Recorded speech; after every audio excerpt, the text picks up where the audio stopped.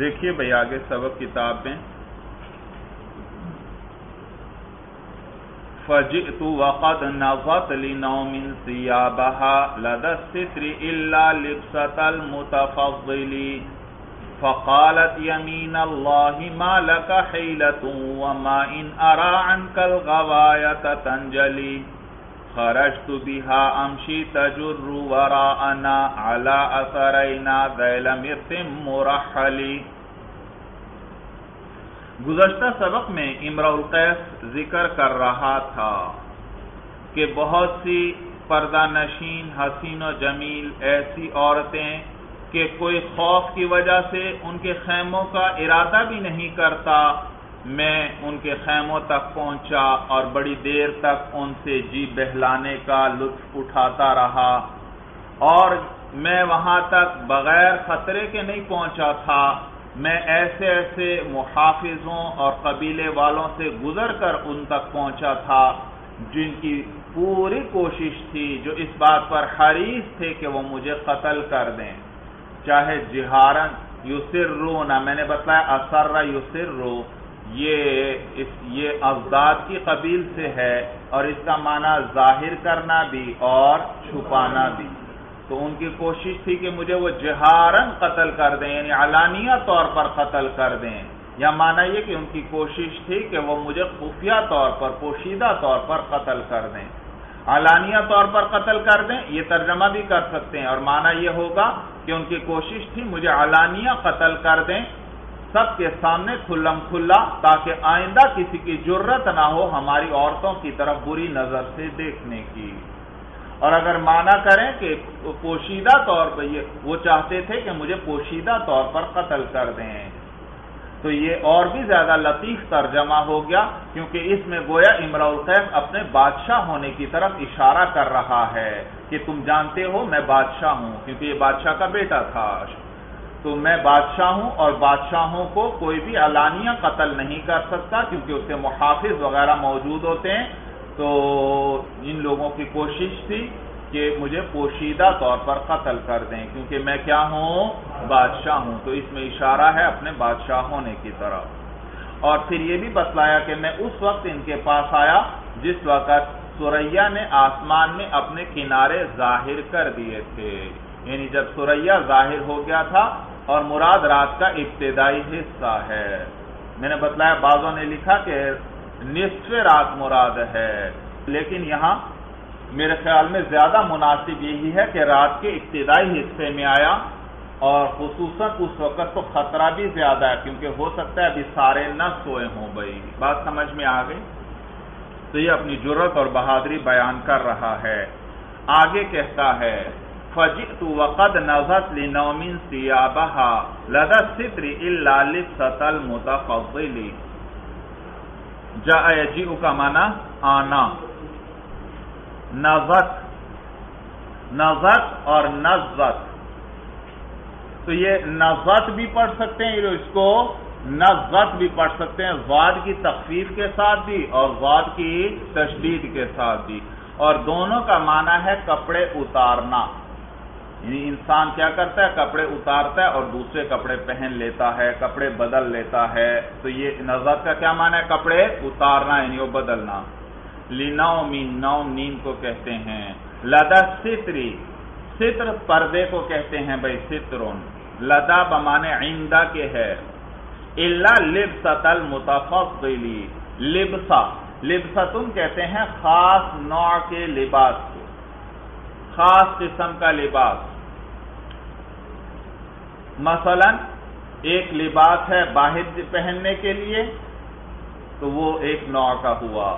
ایک لباس ہے کام کاج کے لیے ہلکا پھلکا لباس، وہ ایک نوع ہوا۔ یا جیسے آپ دیکھ لیں، پولیس والے کی ایک خاص وردی ہے، یہ ایک خاص نوع کا لباس ہے۔ تو اس کو کیا کہیں گے؟ لبسا اور اسی طرح فوجی کی اپنی ایک خاص وردی ہے، تو اس کو کیا کہیں گے؟ لبس۔ تو خاص نوع کا جو لباس، اس کو لبسا کہتے ہیں۔ متفضل متفضل، یہ فضلہ سے ہے بھائی، فضلتن۔ فضلہ کہتے ہیں وہ ہلکا پھلکا لباس جو انسان کام کاج کے وقت یا نیند کے وقت پہنتا ہے۔ بھائی، جب انسان گھر سے باہر جاتا ہے تو پھر خوب خوشنما کپڑے پہنتا ہے، زیب و زینت کو اختیار کرتا ہے۔ مثلا وہ کپڑوں کے اوپر بھی بعض اوقات کوئی چیز پہن لیتا ہے واسکٹ وغیرہ یا کوٹ یا اس جیسی کوئی چیز پہن لیتا ہے یا چوغا وغیرہ۔ جب باہر نکلتا ہے تو وہ زیب و زینت اور خوشنما اور زینت والا لباس پہنتا ہے۔ لیکن جب اس نے کوئی کام کاج کرنا ہو یا سونا ہو، تو اس وقت ہلکے پھلکے نیند کا، ہلکا پھلکا نیند کا لباس پہنا جاتا ہے یا ہلکا پھلکا کام کاج کا لباس پہنا جاتا ہے تاکہ کام کرنے میں دشواری نہ ہو، تکلیف نہ ہو۔ تو وہ جو کام کاج کے وقت یا نیند کے وقت جو ہلکا پھلکا لباس پہنا جائے، اسے فضلہ کہتے ہیں، فضلہ۔ اور اس کو پہننے والا متفضل، فضلہ اس لباس کو جو ہلکا پھلکا لباس ہے نیند کا یا کام کاج کا، اور اس کو پہننے والے کو کیا کہیں گے؟ متفضل۔ تو یہ اس میں فاعل ہے بھائی۔ تو یہ نزت پڑھنا بھی صحیح اور نزت پڑھنا بھی صحیح۔ لیکن یہاں شیر کے وزن کے لیے نزت واد کی تخفیف کے ساتھ پڑھیں بھائی۔ فجئت وقد نوت لنوم سیابہا امرؤ القیس کہتا ہے، فجئت تو میں آیا اپنی اس حشیقہ کے پاس جس کا وہ ذکر کر رہا ہے۔ وقد نزت لنوم سیابہا اور اس حال میں یہ وہ حالیہ ہے، اس حال میں کہ اس نے نزت اس نے اتار دیے تھے لنومی نیند کے لیے سیابہا، اپنے کپڑے لدا ستری، کس کے پاس؟ پردے کے پاس۔ اللہ لبست المتفضلی سوائے نیند کے ہلکے پھلکے لباس سے یعنی اس نے اپنے باقی کپڑے اتار دیے تھے یعنی نیند کا لباس، ہلکا پھلکا لباس پہنا ہوا تھا۔ مانا سمجھ میں آ گیا؟ فجئت وقد نظت لنوم سیابها لدى الستر الا لبست المتفضلی پس میں آیا اس کے پاس اس حال میں کہ اس نے نیند کے لیے اپنے لباس کو اتار دیا تھا، سوائے ہلکے پھول کے نیند کے لباس کے۔ لدس ستری کس کے پاس؟ پردے کے پاس۔ تو میں اس کے پاس آیا، اس نے نیند کے لباس کے علاوہ باقی کپڑے اپنے بدل لیے تھے، اتار دیے تھے اور لدس ستری کس کے پاس تھی؟ پردے کے پاس تھی، پردے کے پاس تھی۔ بھائی، عموماً عورتوں کے آرام کی جگہ عورتوں کے جو بستر ہوتا، ان کے آرام کی جو جگہ ہوتی، اس پر پردے لٹکائے جاتے تھے۔ اس میں پردہ لٹکایا جاتا تاکہ ہر ایک کی نظر نہ پڑے بھائی۔ سمجھ میں آیا؟ تو شرم اور حیا وغیرہ کی وجہ سے وہ کیا کرتی؟ اپنے آرام کی جگہ کے ارد گرد کیا لٹکا دیتی؟ پردے لٹکا دیتی تاکہ آرام کرتے ہوئے کسی کی نظر نہ پڑے بھائی۔ اس لیے کہا لدت ستری تو امراؤ کہتا ہے، میں آیا اس حال میں کہ اس نے نیند کے ہلکے پھلکے کپڑے پہنے ہوئے تھے اور پردے کے پاس تھی۔ بتلانا یہ چاہتا ہے کہ وہ بھی میرا انتظار کر رہی تھی بھائی۔ فجئت وقد نظت لنوم سیابها لدى الصدر الا لبست المتفضلی تو پردے کے پاس تھی اور میرا انتظار کر رہی تھی۔ اور گھر والوں کو دکھانے کے لیے اس نے اپنے کپڑے بدل کر نیند والا لباس پہن لیا تھا تاکہ سب یہ سمجھیں کہ شاید اب یہ سونے لگی ہے، آرام کرنے لگی ہے۔ حالانکہ وہ تو میرا انتظار کر رہی تھی۔ فجئت وقد نظت لنوم سیابها لدى الستر الا لبست المتفضلی بس میں آیا اس حال میں کہ اس نے اپنے کپڑے، نیند کے لیے جو ہے اپنے کپڑے اتار دیے تھے پردے کے پاس۔ اللہ لبسط المتفضلی سوائے نیند کے ہلکے پھلکے لباس کے۔ فقالت یمین اللہ ما لک حیلت وما ان ارا عنک الغوایت تنجلی۔ فقالت یمین اللہ۔ یمین اللہ اس کو چاہیں تو منصوب پڑھیں جیسے ہے یمین اللہ۔ اور چاہیں تو اس کو مرفو پڑھیں یمین اللہ۔ تو یہ یمین کے لفظ پر نصب بھی پڑھ سکتے ہیں اور رفع بھی۔ اور یہ دونوں روایتیں آئی ہیں بھائی، نصب بھی اور رفع۔ اگر آپ اس کو پر نصب پڑھیں تو پھر یہ مفول مطلق بنے گا اور اس کے لیے فیل محضوف نکال لیں گے۔ اقسم یمین اللہ میں قسم کھاتی ہوں۔ یمین اللہ کون سی قسم؟ اللہ کی قسم۔ تو یہ مفول مطلق بنے گا اور وہ قسم یمین کا معنی بھی کیا ہوتا ہے؟ قسم۔ تو معنی ایک ہی ہے بھائی۔ اگر لفظ الگ ہیں، ایک قسم ہے اور ایک یمین ہے۔ اقسم یمین اللہ۔ ترکیب سمجھ میں آ گئی بھائی، یمین مضاف ہے، لفظ اللہ مضافون اقسم میں قسم اٹھاتی ہوں، یمین اللہ۔ کون سی قسم؟ اللہ کی قسم اٹھانا۔ جی یہ مستری ترجمہ کر رہا ہوں۔ تو میں اللہ کی قسم اٹھاتی ہوں۔ یا اس کو آپ مرفو پڑھیں، یمین اللہ۔ پھر اس صورت میں اس کو یا مبتدا بنائیں گے اور اس کے لیے خبر محضوف نکال لیں گے۔ یا اس کو خبر بنائیں گے اور مبتدا محضوف نکال لیں گے۔ مبتدا بھی مرفو اور خبر بھی۔ تو چاہے آپ مبتدا بنا دیں اور خبر محضوف نکال لیں۔ اور چاہیں تو اس کو خبر بنا دیں اور اس کے لیے مبتدا محضوف نکال لیں۔ اور مبتدا یا خبر وہ ہوگا قسمی۔ قسمی، میری جو قسم ہے، یمین اللہ۔ کون سی قسم ہے؟ اللہ کی قسم ہے۔ یا یمین اللہ قسمی اللہ کی قسم جو ہے قسمی وہ میری قسم ہے۔ یہ لفظی ترجمہ کرو مانا یہ ہے کہ میں اللہ کی قسم کھاتی ہوں۔ ما لکا حیلتن، حیلہ کا معنی دو معنی ہے بھائی، اور دونوں یہاں کریں گے ہم۔ حیلہ کا ایک معنی ہے بہانا بہانا بہانا بنانا۔ اور حیلہ کا ایک معنی ہے دلیل دلیل اور حجت۔ وما ان آرا ما نفی کے لیے ہے۔ ان، یہ ان جو ہے، یہ بھی نفی کے لیے ہے۔ ما بھی نفی کے لیے اور ان بھی نفی کے لیے ہے۔ اور یاد رکھیے، یہ ان زائد ہے زائد ہے۔ ما بھی نفی کے لیے آتا ہے اور ان بھی کس لیے آتا ہے؟ نفی کے لیے، کلام عرب میں استعمال ہوتا ہے۔ تو ماں کے بعد کبھی کبھی یہ ان کو زائد لے آتے ہیں۔ تو یہ ان زائد ہے بھائی۔ توجہ ہے۔ زائد اس لیے ہے کیونکہ اگر آپ اس کو زائد نہیں مانیں گے، پھر تو دو نفی جمع ہو گئی نفی پر کیا داخل ہو گئی نفی۔ ان بھی نفی اور اس پر ماں کی نفی بھی داخل ہو گئی۔ اور نفی پر نفی داخل ہو، یاد رکھو، وہ اس بات کا فائدہ دیتی ہے۔ نفی پر نفی داخل ہو تو کس کا فائدہ دیتی ہے؟ اس بات۔ کبھی آپ نے غور کیا؟ نفی پر نفی داخل ہو تو کیسے اس بات ہوتا ہے؟ دیکھو، مثلا میں آپ سے کہتا ہوں، زید نہیں آئے گا۔ جی نفی ہے نفی ہے۔ کیا مطلب ہے؟ زید آئے گا یا نہیں آئے گا؟ دیکھو، نفی ہے۔ لیکن اسی پر میں ایک اور نفی لے آتا ہوں۔ ایسا نہیں ہو سکتا کہ زید نہ آئے۔ کیا مطلب؟ معلوم زید آئے گا۔ دیکھا، نفی پر نفی آئی، اب کیا بن گیا؟ ایسا نہیں ہو سکتا کہ زید نہ آئے۔ دیکھو، نفی پر نفی آئی تو کیا بن گیا؟ اس بات بن گیا۔ معلوم ہو زید آئے گا بھائی۔ تو یہ ان زائد ماننا پڑے گا۔ اگر زائد نہیں مانیں گے، پھر تو یہ اس بات بن جائے گا اور اس بات یہاں نہیں مراد بھائی۔ تو یہ عام استعمال ہوتا ہے۔ ماں کے بعد ان کو بڑھا دیتے ہیں۔ زائد۔ آرا ارا یارا کے معنی ہیں دیکھنا دیکھنا۔ رویت اس کا مصدر کیا ہے؟ رویت اور رویت دو قسم کی ہوتی ہے۔ ایک رویت بخری ہے، آنکھوں سے دیکھنا۔ اس کے لیے ایک مفول چاہیے۔ رعیت زیدن میں نے کس کو دیکھا؟ زید کو۔ اور ایک رویت قلبی ہے، دل سے۔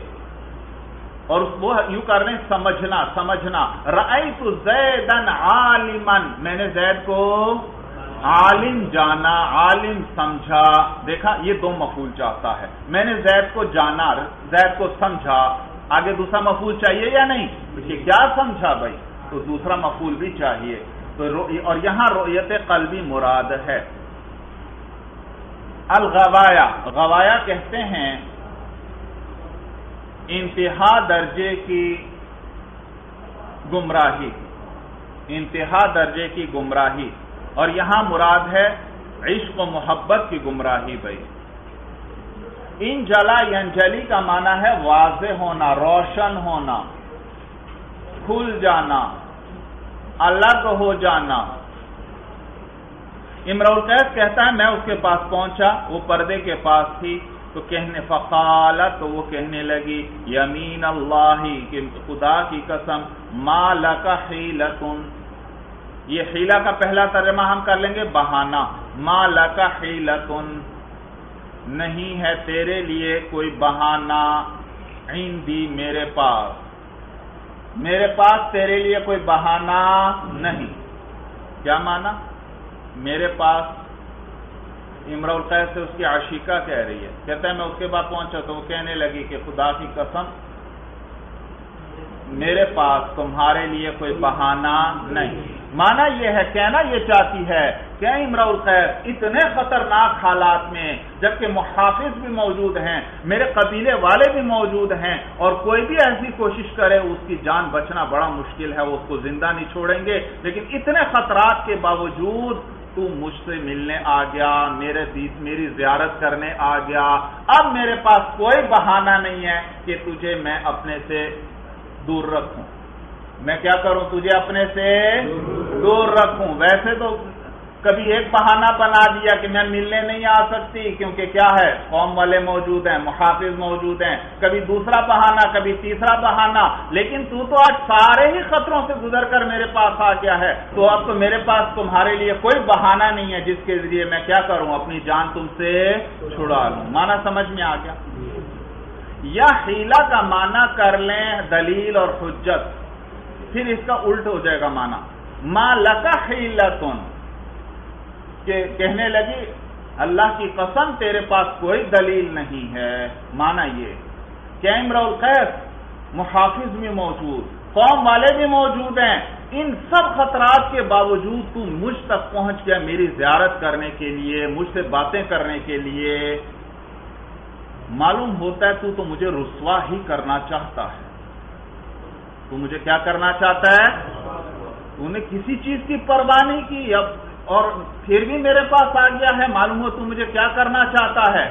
رسوا کرنا چاہتا ہے، اور تیرے پاس کوئی دلیل نہیں ہے کہ تو اس کا جواب دے سکے کہ نہیں، میں تو رسوا نہیں کرنا چاہتا، تو جواب دے دے، نہیں نہیں، تیرے پاس کوئی جواب نہیں ہے۔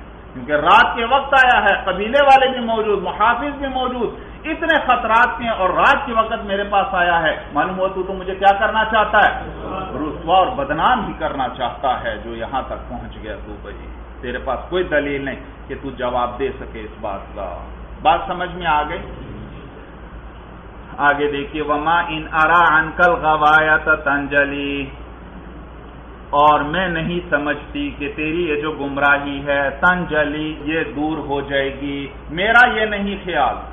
کہ یہ تیری گمراہی تجھ سے، یہ جو عشق و محبت کی گمراہی ہے، تو اتنے خطروں سے گزر کر میرے مجھ تک پہنچ گیا ہے۔ میرا نہیں خیال کہ تجھ سے یہ عشق و محبت کی گمراہی کبھی دور ہو سکے، تو اس کی خاطر کچھ بھی کر سکتا ہے بھائی۔ فقالت يمين الله ما لك وما ان ارى عنك الغوايه تنجلي۔ تو وہ کہنے لگی خدا کی قسم تیرے لیے میرے پاس کوئی بہانہ نہیں ہے یعنی تجھے اپنے سے روکنے کا۔ یا مانا یہ ہے کہ خدا کی قسم تیرے پاس کوئی دلیل نہیں ہے۔ یعنی تو تو مجھے رسوا ہی کرنا چاہتا ہے، تو اس بات کا جواب دے سکے تیرے پاس کوئی دلیل نہیں ہے۔ وما ان ارا انکل غوایت تنجلی اور میں نہیں سمجھتی کہ تجھ سے تیری عشق و محبت والی گمراہی کبھی دور ہوگی۔ خرج تو بہا امشی تجر ورا انا علا اثر ذیل مرتم مرحلی خرج تو بہا امشی، مشا امشی کا معنی چلنا، پیدل چلنا۔ تجر جر یا جرو کے معنی ہے کھینچنا ورا انا ورا کہتے ہیں پیچھے کو، ایک چیز کے پیچھے ہو۔ اعلی اثر اثر کہتے ہیں قدموں کے نشان کو بھائی، قدموں کے نشان کو۔ زیل زیل کہتے ہیں کپڑے کے دامن کو۔ زیل کسے کہتے ہیں؟ کپڑے کا دامن بھائی۔ جمع اس کی ازیال۔ اور مثلا آپ نے قمیض پہنی ہے جو قمیض کا نچلا حصہ ہے، یہ ہے قمیض کا دامن۔ اسی طرح کوئی بھی کپڑا اس کا نچلا حصہ کیا کہلائے گا؟ کپڑے کا دامن۔ مرت مرت کہتے ہیں ریشمی چادر کو، ریشمی چادر۔ اسی طرح مرت اونی چادر کو بھی کہتے ہیں، تو ریشمی یا اونی چادر کو مرت کہتے ہیں۔ مرحل مرحل رحل سے ہے، رحل۔ رحل کہتے ہیں کجاوے کو، اونٹ کے اوپر جو رکھا جاتا ہے، کجاوا۔ اسی سے مرحل ہے۔ یعنی کجاوے والا۔ یہ کپڑوں کو کوئی خاص ڈیزائن ہوگا اس زمانے میں بھائی، جن پر اونٹوں کے، کجاووں کے نقش و نگار بنائے جاتے تھے۔ تو اس کو کیا کہتے تھے؟ اس چادر کو مرتے مرحل، جس پر اونٹ کے، کجاووں کے نقش و نگار بنے ہوئے۔ اسی طرح بعض کپڑے ہوتے ان پر مردوں یا انسانوں کی صورت بنی ہوتی تھی۔ اس کو کہتے تھے مرتے مرجل، رجل سے ہے۔ رجل آدمی کو کہتے ہیں نا۔ تو جس کپڑے پر آدمیوں کی صورت اور آدمیوں کے نقش و نگار اور ڈیزائن بنے ہوتے، اس کو کیا کہتے تھے؟ مرتے مرجل۔ تو یہ خاص ڈیزائن مراد ہے۔ امر القیس کہتا ہے، خارج تو بھی میں اس تک پہنچا، اب میں اس کو لے کر وہاں سے نکلا۔ خرش تو بہا، میں اس کے ساتھ نکلا۔ امشی اس حال میں کہ میں چل رہا تھا۔ تجرو اور اس حال میں کہ وہ کھینچ رہی تھی۔ ورا انا ہمارے پیچھے۔ اللہ اثرینا ہمارے قدموں کے نشانات پر۔ ذیل مرت مرخلی کجاموں کے نقش و نگار والی اونی چادر کے دامن کو۔ بھائی، دیہات میں آج بھی لوگ قدموں کے نشان کے لیے آنے والے کا پتہ چلا لیتے ہیں۔ کہیں ایک آدھا نشان بھی ان کو مل جاتا ہے فوراً پتہ لگا دیتے چوریاں اس کے ذریعے وہ پکڑ لیتے ہیں بھائی۔ بات سمجھ میں آئی بھائی؟ دیہات میں آج بھی لوگ کیا کرتے ہیں؟ قدموں کے نشان کے ذریعے پتہ چلا لیتے ہیں کہ یہاں کوئی آیا تھا یا یہ کس نے یہ چوری کی ہے اور چور تک پہنچ جاتے ہیں۔ تو امراء القیس کہہ رہا ہے کہ ہاں میں نکلا اس کے ساتھ وہاں سے ہم نکلے اور اس حال میں کہ وہ کیا کر رہی تھی؟ ہم چل رہے تھے۔ ہمارے قدموں کے نشانات پڑتے جا رہے تھے، تو اس نے اپنی چادر جو ہے پیچھے کی طرف ذرا لمبی کر کے زمین پر لٹکائی ہوئی تھی، تاکہ جو ہمارے قدموں کے نشانات ہیں وہ اس چادر کی وجہ سے مٹتے چلے جائیں بھائی۔ مانا سمجھ میں آ گیا؟ کہتے ہیں خرش تو بیہا امشی تجرو ورا انا اللہ میں نکلا اس کے ساتھ، اس حال میں کہ میں چل رہا تھا، تجر ورا انا اس حال میں کہ وہ کھینچ رہی تھی ہمارے پیچھے اعلی اثر ہمارے قدموں کے نشانات پر ذیل مرت مرحلی کے نقش و نگار والی اونی چادر کے دامن کو وہ ہمارے قدموں کے نشانات پر کھینچ رہی تھی۔ آگے دیکھیے، فلما اجزنا ساحت الحی بنا بطن خط دی حقاف عقن قلی فلما اجازنا، اجازا یوجیز اجازہ کا ایک معنی ہے طے کرنا۔ اجزت الوادی، میں نے وادی کو طے کر لیا۔ جب آپ ایک وادی میں سے گزر جائیں تو کیا کہیں گے؟ اجزت الوادی۔ یا کسی جگہ سے گزر گئے تو آپ کہتے ہیں اجزت المکان، میں نے وہ جگہ طے کر لی، میں اس میں سے گزر گیا۔ فاحس سہن کو کہتے ہیں، حیون قبیلے کو کہتے ہیں، انتہا بنا انتہا شے کا معنی ہے کسی چیز پر اعتماد کرنا، بھروسہ کرنا۔ بطن خبتن بطن کہتے ہیں نشیبی زمین کو۔ جو زمین ذرا پست ہو، نیچی ہو، اس کو کیا کہتے ہیں؟ بطن الارض بطن الارض۔ اچھا اور خبت خبت کہتے ہیں وسیع جگہ کو، وسیع نشیبی جگہ۔ خبت کا کیا معنی؟ وسیع کھلی نشیبی جگہ۔ اور چونکہ نشیبی کا ذکر بطن میں آ گیا، تو خبد کا معنی صرف کر لیں وسیع جگہ، کیونکہ بطن کا خود نشیبی زمین کا تو پیچھے خود ذکر آ رہا ہے۔ تو لہذا اس معنی سے اس کو خالی کر لو۔ اب بس خبد کا معنی کیا کرو؟ وسیع جگہ۔ زی حقاقن حقاق جمع ہے حقف ان کی، اور حقف کہتے ہیں ریت کا ٹیلا جو ہے۔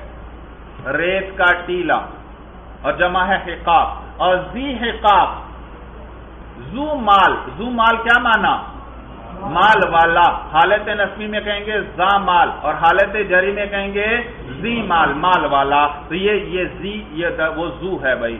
زی حقاق، ریت کے ٹیلوں والی۔ مانا سمجھ میں آ رہا ہے؟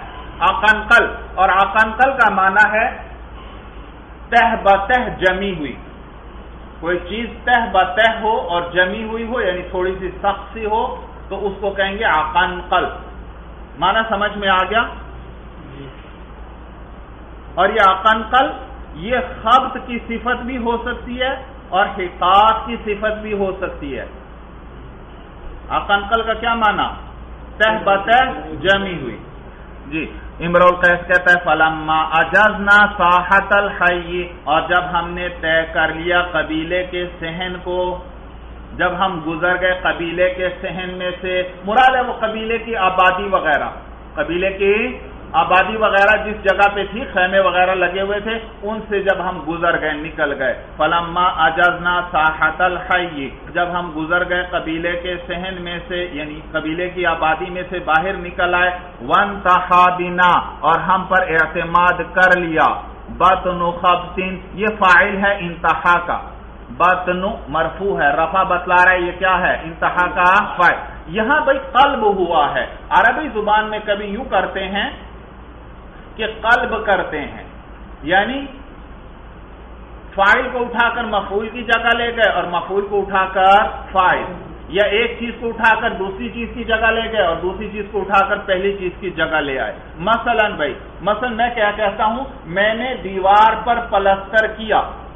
میں نے دیوار پر پلستر کیا۔ اب اس میں عرب بعض وقت قلب کرتے ہیں۔ دیوار کو لے گئے، پلستر کی جگہ اور پلستر کو لیا دیوار کی جگہ۔ میں نے پلستر پر دیوار بنا دی۔ میں نے پلستر پر دیوار کر دی۔ دیکھو، حالانکہ اصل کلام کیا تھا؟ میں نے دیوار پر پلستر، جگہ بدل دی۔ اس کو کہتے ہیں قلب قلب۔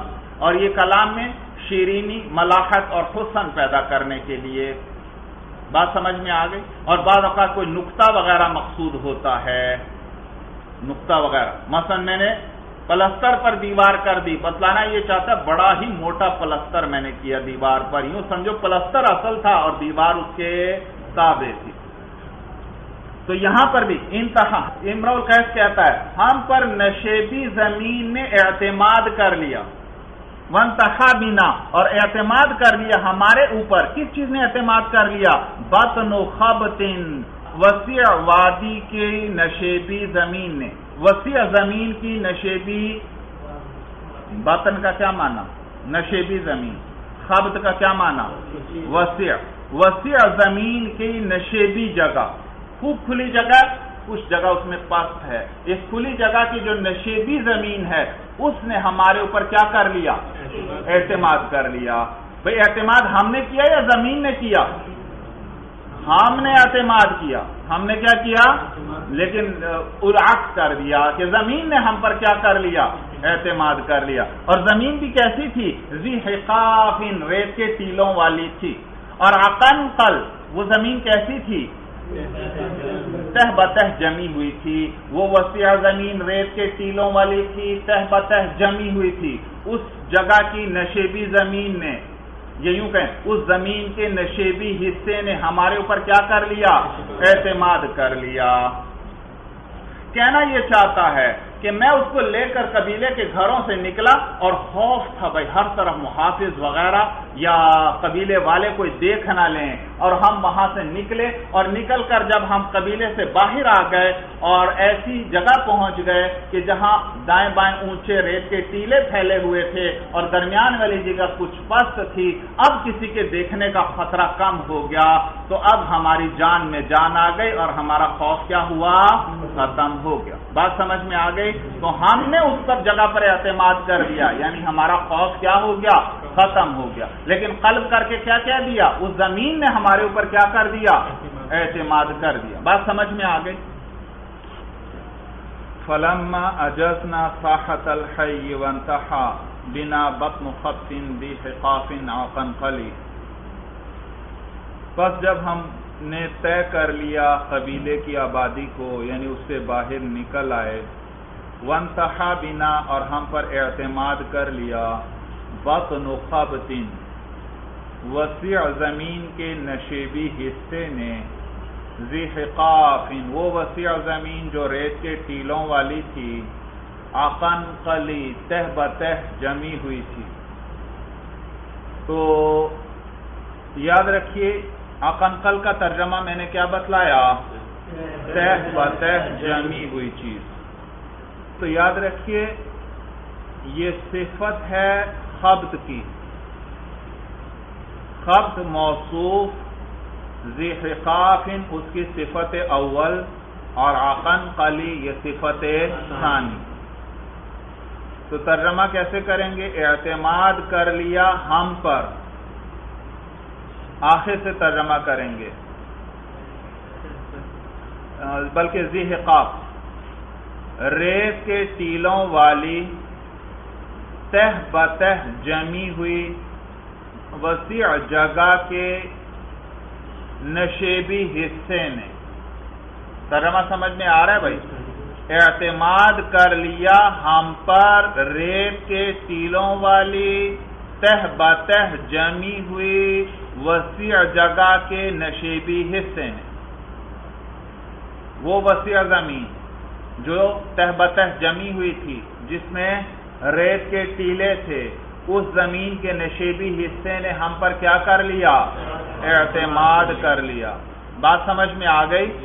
یہ ذہقات کیا ہے؟ قبطین کی صفت اول اور آقنقل کیا ہے؟ صفت ثانی۔ ایسی وسیع جگہ جو ریت کے ٹیلوں والی تھی، ایسی وسیع جگہ جو تہ بتہ جمی ہوئی تھی یعنی کچھ سخت زمین ہوگی اور تہیں بنی ہوں گی اس کی تو اس زمین، وہ وسیع زمین جو ریت کے ٹیلوں والی تھی، تہ بتہ جمی ہوئی تھی، اس کے نشیبی حصے نے ہم پر اعتماد کر لیا۔ تو با محاورہ ترجمہ کیسے کریں گے؟ فلم پس جب ہم نے طے کر لیا قبیلے کے آبادی کو، اس سے باہر نکل آئے اور ہم پر اعتماد کر لیا۔ ریت کے ٹیلوں والی تہ بتہ جمی ہوئی وسیع جگہ کے نشیبی حصے نے۔ اور بعض علماء نے یا قنقل کو صفت بنایا حقاف کی، خبتین موصوف زی حقافن اس کی صفت، اور پھر اس میں سے زی حقاف زی مضاف حقافن مضافون الہ اور یہ موصوف ہے، اور آقنقل اس کی صفت ہے۔ زی حقافن ایسے ریت کے ٹیلے اقنقلی جو تہ بتہ تھے۔ جو جمے ہوئے کو مانا کو یہاں سے ختم کر دیں۔ ریت کے ٹیلے جو تہ بتہ تھے۔ تو ترجمہ یوں ہوگا۔ ون تہا بنا بت مختن دی حقافن آقن قلی۔ اور اعتماد کر لیا ہم پر۔ تہ بتہ ریت کے ٹیلوں والی وسیع جگہ۔ تہ بتہ ریت کے جی وہ اب تہ بتہ وہ زمین نہیں ہے، بلکہ تہ بتہ کیا ہے، ریت کے ٹیلے تہ بتہ ریت کے ٹیلوں والی وسیع جگہ کے نشیبی حصے نے ہم پر کیا کر لیا؟ جب ہم نے قبیلے کو طے کر لیا اور اس نشیبی زمین نے ہم پر اعتماد کر لیا۔ لما کا جواب آگے آئے گا بھائی۔ بات سمجھ میں آ گئی؟ تو اقنقل یا تو صفت ہے کس کی؟ خبد کی۔ یا صفت ہے کس کی؟ حقاف کی حقاف کی نہیں، حقاف کی، حقاف۔ وہ ریت کے ٹیلے ایسے تھے جو پھر دیکھیے خب تین ہے مذکر۔ اور آقنقل بھی کیا ہے؟ مذکر ہے۔ تو موصوف صفت ایک دوسرے کے مطابق۔ حقاف صفت اول اور آقنقل صفت سن تو جب اس کو خبط کی صفت بنائے پھر تو کوئی اشکال نہیں ہوتا۔ لیکن اگر اس کو حقاف کی صفت بنائے پھر اشکال ہوتا ہے، کیونکہ حقاف ہے جمع۔ حقفن ریت کا ٹیلا اور حقاف اس کی جمع۔ اور جمع کی صفت جمع لاتے ہیں یا واحد مؤنس لاتے ہیں بتاویل جماعتن کے۔ تو لہذا اس کی صفت یا تو جمع ہونی چاہیے تھی یا واحد مؤنس لیکن آقان خل یہ تو مفرد ہے۔ اگر مفرد ہے تو مؤنس ہونا چاہیے تھا، واحد مؤنس لیکن یہ واحد مؤنس بھی نہیں۔ تو پھر اشکال ہوتا ہے کہ یہ حقاف کی صفت کیسے بن جائے گی؟ جبکہ حقاف جمع ہے اور یہ مفرد ہے، مذکر ہے۔ تو جواب یہ کہ یہاں آقنقل کو اسم کے درجے میں اتار لیا۔ کس کے درجے میں؟ اسم کے درجے میں اتار لیا۔ اور تا، تب لاتے، تا لاتے ہیں صفت میں فرق کرنے کے لیے۔ زاربن مذکر کے لیے کہیں گے اور زاربتن مؤنس کے لیے کہیں گے۔ تو یہاں آقنقل کے ساتھ تانی لائے، اس کو اسم کے درجے میں اتار لیا اور صفت میں تبدیلی کی جاتی ہے، مذکر کے لیے اور صفت ہوتی ہے مونس کے لیے اور صفت۔ لیکن جب اسم ہے اسم میں تو تبدیلی نہیں کی جاتی اسم اسی طرح رہتا ہے۔ ایک چیز کا نام ہے۔ کیا ہے؟ جب نام ہے، نام میں تو کوئی تبدیلی نہیں کی جائے گی۔ تو اس کو اسم کے درجے میں رکھتے ہوئے حقاف کی صفت بنا دیا۔ بات سمجھ میں آ رہی؟ نہیں سمجھے۔ اسم کی بات کر رہا ہوں۔ علم نہیں علم نہیں۔ علم ہوتا ہے خاص چیز کا نام۔ اور اسم نام ہے۔ اس میں علم ہونا ضروری نہیں۔ اور عالم بھی ہو سکتا ہے اسم، لیکن یہاں علم نہیں مراد، اسم مراد ہے۔ مثلا دیکھو، ایک طرف تہ بتہ جمی ہوئی زمین ہے۔ یہ یوں کہیں، ایک طرف ریت کے ٹیلے ہیں، تہ بتہ جمے ہوئے۔ یہ بھی کیا ہیں؟ آکنقل جمے ہوئے ہیں، تہ بتہ جمے ہوئے ہیں، کیا کہیں گے یہ؟ اکنقل دوسری طرف بھی تہ بتہ جمے ہوئے ریت کے ٹیلے ہیں، ان کو بھی کیا کہیں گے؟ اکنقل تیسری طرف بھی ریت کے ٹیلے تہ بتہ جمے ہوئے ہیں، ان کو کیا کہیں گے؟ اکنقل معلوم ہو یہ علم نہیں ہے اسم ہے. علم کا تو دو پر اطلاق نہیں ہوتا، ایک طرف زید کھڑا ہے، کیا کہیں گے؟ زید. دوسری طرف بالکل ویسے ہی کپڑے پہنے ہیں، ویسے ہی چہرہ سورج شکل، سب کچھ ہے، کیا اس کو زید کہیں گے؟ نہیں۔ علم کا اطلاق ایک خاص معین چیز پر ہوتا ہے۔ اسم جو ہے وہ عام ہے۔ بات سمجھ میں آ گئی تو لہذا اقنقل کو کس کے درجے میں اتار لیا؟ اسم کے درجے میں۔ اور لہذا جب اسم کے درجے میں اتار لیا تو اب تانیس کی علامت اس لیے اس میں نہیں لائے۔ اس تہ بتہ جمی ہوئی زمین کا نام ہی کیا رکھ دیا؟ اقنقل رکھ دیا۔ بات سمجھ میں آ گئی بھائی؟ تو ہم پر اعتماد کر لیا۔ تہ بتہ جمے ہوئے ریت کے ٹیلوں والی وسیع زمین کے نشیبی حصے ہیں۔ اس نے ہم پر کیا کر لیا؟ اعتماد۔ اور یہاں قلب ہے۔ اصل میں کیا ہے؟ ہم نے اس جگہ پر کیا کر لیا؟ اعتماد کر لیا۔ یعنی اب ہم ذرا محفوظ جگہ پر آ گئے اور ہمارا خوف ختم ہو گیا اور ہماری حالت بہتر ہو گئی بھائی۔ جی پھر دیکھ لیجیے ترجمہ بھائی۔ فجئت وقد نزت لنوم ثيابها لدى الستر الا لبسة المتفضلی پس میں اس کے پاس آیا اس حال میں کہ وہ نیند کے لیے اپنے کپڑے اتار چکی تھی سوائے ہلکے پھلکے نیند کے لباس کے. لدس ستری کس جگہ پر؟ پردے کے پاس یعنی وہاں تھی. فقالت یمین اللہ ما لک حیلت وما ان ارا عنک الغوایت تنجلی. تو وہ کہنے لگی، خدا کی قسم تیرے لیے میرے پاس کوئی بہانہ نہیں ہے کہ تجھے میں اپنے آپ سے روک دوں، اپنے سے دور کر دوں. یا مانا یہ کہ خدا کی قسم تیرے پاس کوئی دلیل نہیں ہے، تو اس حالت میں، اس خطرے میں میرے پاس آیا، معلوم ہوا تو تو مجھے رسوا ہی کرنا چاہتا ہے، اس کا جواب میں تیرے پاس کوئی دلیل نہیں ہے۔ وما ان ارا انکل غبایت تنجلی اور میں نہیں سمجھتی کہ تجھ سے یہ عشق و محبت والی گمراہی کبھی دور ہو جائے۔ خرج تو بھی امشی تجر ورا انا اللہ اثرنا ذیل مرت مورا پس میں اس کے ساتھ نکلا اس حال میں کہ میں چل رہا تھا اور اس حال میں کہ وہ کھینچ رہی تھی ہمارے پیچھے ہمارے قدموں کے نشانات پر کجابوں کے نشان والی اونی چادر کے دامن کو۔ فلما اجزنا ساحت الحی وانتحا بنا بطن خطن لی حقاب عقن قلی، پس جب ہم نے طے کر لیا قبیلے کے سہن کو اور ہم پر اعتماد کر لیا، ہم پر اعتماد کر لیا، ریت کے ٹیلوں والی تہ بتہ جمی ہوئی وسیع جگہ کے نشیبی حصے نے، یہ یہ ترجمہ۔ اور ہم پر اعتماد کر لیا۔ تہ بتہ جمے ہوئے ریت کے ٹیلوں والی وسیع جگہ کے نشیبی حصے نے۔ لما کا جواب جو ہے وہ آگے آ رہا ہے بھائی۔ یہاں تک بات سب کو سمجھ میں آ گئی۔ چلیے بس بھائی المرام اللہ عالم بھی حقیقت الکلام۔